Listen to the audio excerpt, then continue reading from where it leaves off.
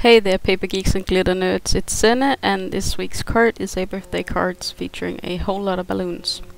Now here you see all my cutouts, they were made on the and cut, and I can show you how I do this in a other video. If you want to, please tell me in the comments so I know that there's an interest. They are cut out of Neenah Classic Crest since I'm gonna color them in with my uh, alcohol markers and I'm gonna stamp them out with a uh, memento color. Uh, it is not quite crunchy leaf, but it's as close as it gets, I guess. I was trying out this notion that you could stamp with anything other than black and color in. Now, I don't particularly like the brown ones. Now that I have tried out River Rock and uh, Jellyfish, is it just Jellyfish? I think it's just Jellyfish from Lawn Fawn. I know that um, I prefer those two uh, to the uh, brown versions, uh, even the black ones. So here we go stamping. I'm just checking if every critter is put into the uh, the corresponding hole as it is. Um, and then I can stamp them out close to perfectly at least. Um, I like this technique actually um, and at the moment I'm working on making cut files for all my stamps but it's a slow process. But once they're done, it is so nice. Because I don't need to fussy cut. Maybe a little bit, if they get a little bit crooked. Um, this will be a slimline card and therefore I need a lot of items. Or was it that I wanted a lot of items and therefore I needed a slimline card to fit them all? I'm uncertain about that one. But it is a stunning card, um, nevertheless, because of all the details.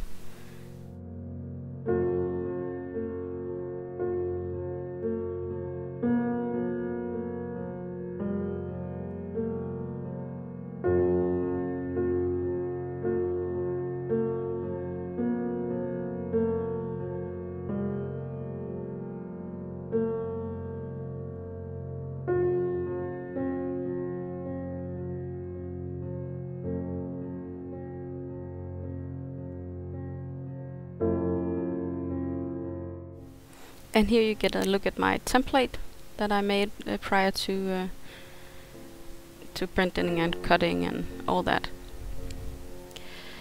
I made the uh, scallop panel myself in uh, canvas for Brother Scan'n'Cut and this Bristol paper is just plainly cut on my uh, paper trimmer. The stencils are homemade. Um, this one was used, I used a die from MFT to make it, but the the cloud one, that's the word. The cloud one I made myself cutting it by hand. I am planning on making a cut file and making a new one um, in some uh, slightly thicker plastic. But I'm just gonna make an a very easy background with some distress inks.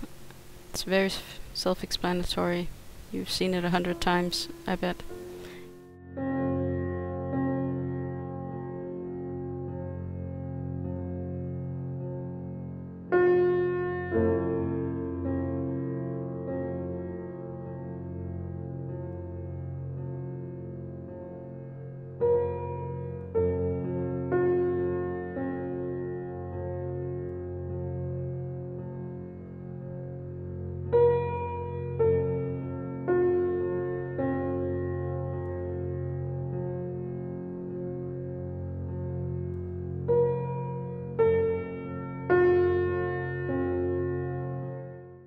Here is the pattern paper that inspired the colors I'm gonna pick for the balloons. I'm gonna add a few extras, but the pink one and the turquoise one were primary uh, for me to get in the card because of this paper. Now I originally wanted to make the scallop panel in this paper, but I read somewhere that um, thick glitter cardstock can break your knife uh, for your brother's scanning ScanNCut and they're just too expensive for me to even try so I worked out this other solution where I made the scallop panel in white and then there would be basically more of the balloon panel in the background. I think it worked out quite nicely. I am planning on making a, a scallop uh, panel with smaller scallops in the future. But everything went a bit fast. And now the coloring. As I've said before, and I keep feeling this way, is that I am not the best teacher for uh, coloring. Maybe you can get some inspiration, or maybe you can see what you shouldn't do watching me color these, but uh, I'm nevertheless gonna leave you with the music just and stop babbling if I can.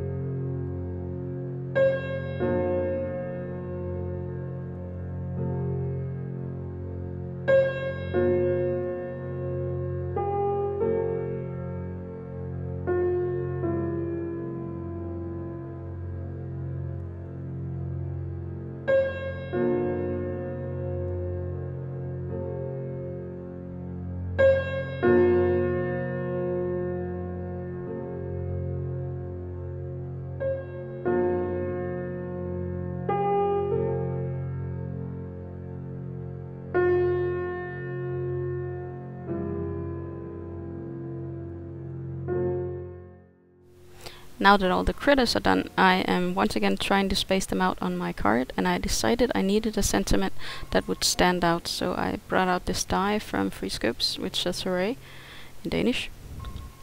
And I'm gonna cut it from this glitter paper. Um, because the recipient also loves glitter. So. And this greenish color kind of fit with the background, uh, the balloon background that is. So. I needed it for the spacing of everything.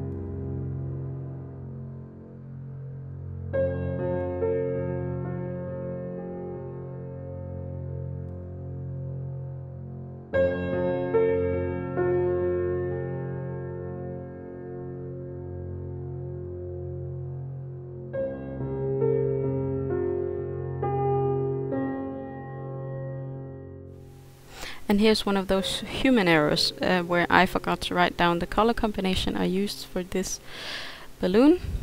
Um, I have, from the video, figured out that it was Y35 and Y38 and I think, but I'm not certain, but from the color I'm seeing and my color chart, I believe the, the lightest color is Y45. Believe so.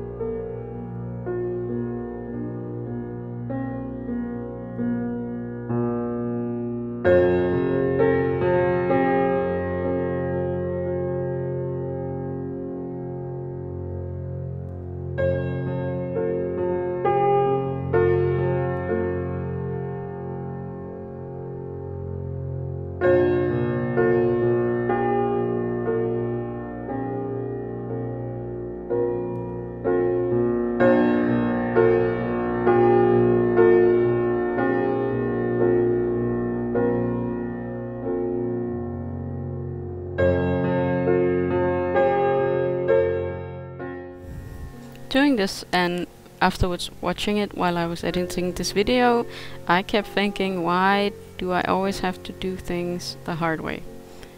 Why indeed? I am going to put a real string on every single balloon for this card. And it's gonna take a while. And don't worry, you won't have to watch it all. And some of it I've sped up a whole lot. But the idea is you wrap the string around the bottom of the balloon and then you secure it on the back side with first red tape and then this piece of uh, foam tape. And mostly it holds. I think I have one balloon where the string falls off.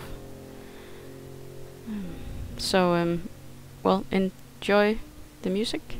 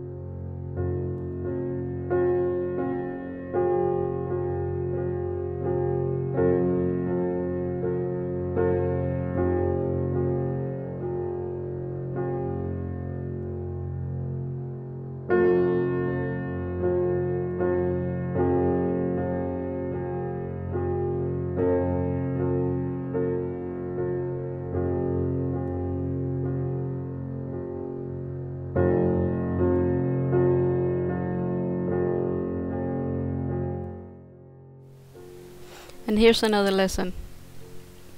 And I learned it the hard way, as you should with anything. Stamp the face back in before you color it. Because seeing anything when you've colored it is seriously hard. I and and I don't have a steady hand, so some of these faces are horrendous, in my opinion. Of course, the recipient didn't note it, but uh, then again, I knew how it was supposed to look, so maybe that's why I'm judging me. But uh, that's why, from now on, when I do this uh, no line, semi-line coloring, I will stamp the face with a darker ink before I go to color it. Just to make it all easier on me.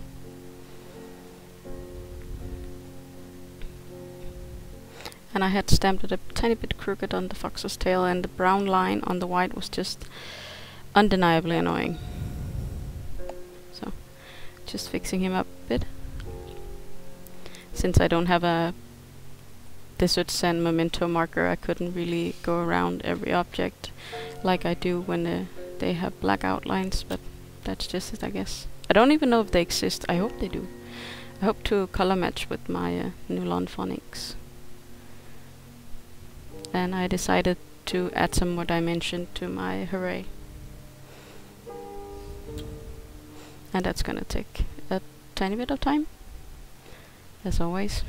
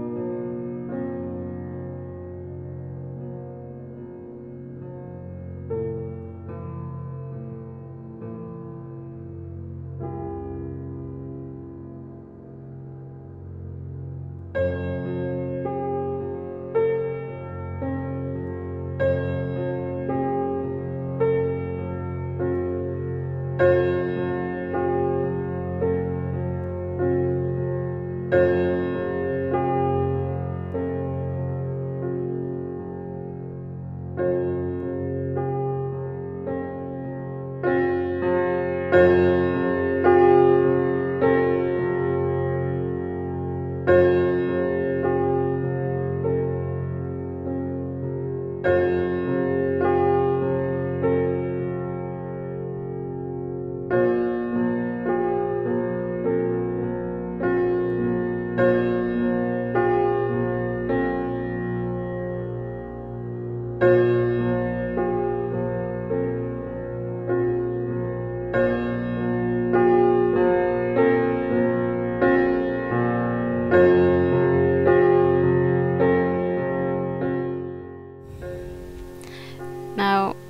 never uh, try to cut out the tails of the mice from Lawn Fawn, so I have to give them a new tail, and that will be the same black string as the balloons. That will cause a tiny problem uh, with the flying mice, uh, mouse, the grey one at the top, since uh, you will think that his tail is actually a balloon string. So I have to go and get some thicker embroidery floss, I think. This is extremely thin and uh, I would have liked something a little bit thicker, but I didn't have any on hand, so you work with what you got.